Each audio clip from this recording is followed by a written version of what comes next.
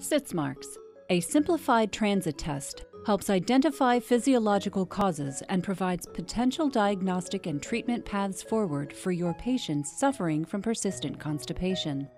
An easy to administer, non invasive test that can be used in office or via telemedicine.